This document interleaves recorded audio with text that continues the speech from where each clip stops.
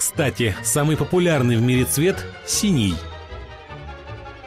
Любопытно, ресница живет 200 дней, после чего выпадает. Факт. Первая компьютерная мышь была сделана из дерева –